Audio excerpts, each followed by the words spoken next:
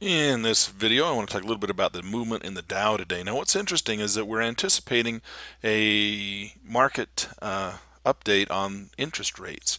And so we are waiting for, we got about an hour and a half still until we get our announcement on whether they're going to raise the interest rates. And you can see the market is already preparing for them to say no apparently because uh, generally speaking if the if they're going to raise the interest rates the stock market would fall.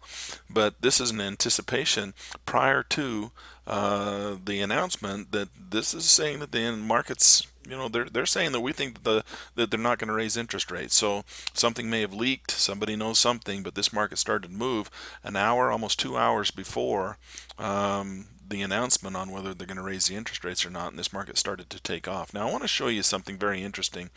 I want to bring this into your attention, and the first thing I want to do is I want to turn on a new tool. Well, it's not new, new but it's kind of new to us. We haven't been using it very much, so we're going to turn on this um, uh, it's it's called volume by price and what you're going to see down here is when you look at the volume by price you see this green uh, volume bar on the left hand side of the market. And what it does is it shows you where the high amounts of volume are. What's really important about this is we want to be able to time this properly. So the first thing I'm going to do is I'm going to come into this uh, the charts. I'm going to I'm going to just bring this down to a range bar 12 and I'm going to do that just to make this a little simpler for us. But I want to show you this is the beginning of the day this white line okay? This is our time zone that I've got turned on down here. And if you come over to the volume by price you'll notice that it's set by price bars back and then number of bars. Number of bars is how, how many bars you have on the screen and you can either increase that or decrease that. Sometimes it's easier if we decrease that down a little bit to see where the, the major volume is. But I want to show you a neat little trick because this is price bars back what we want to do is we want to see from the starting of the day so what we're going to do is just going to draw the bar tool and it's this is an easy calculation when you're using minute charts but uh, when you're using range bar charts, it's not such an easy calculation. So we have a tool in here that we can just draw. And of course, you can do this with minute charts too. But look, that says tells us 129 actual bars. So we come in here, I can scoot this up to 129, and it's going to tell us the bars for the day.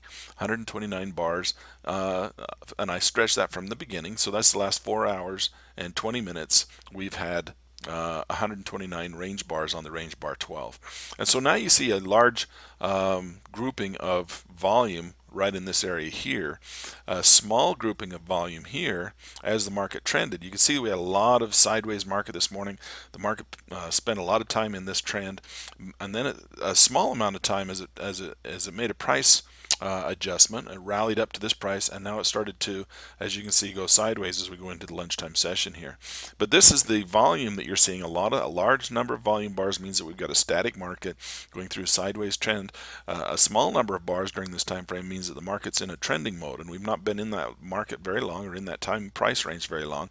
And then you can see as the bars start to grow once again, we're starting to go back into a narrow sideways channel. So this is just a, a nice little volume bar uh, tool that's uh, kind of gives you an indication of where markets are trending through and where they spend a lot of time ranging.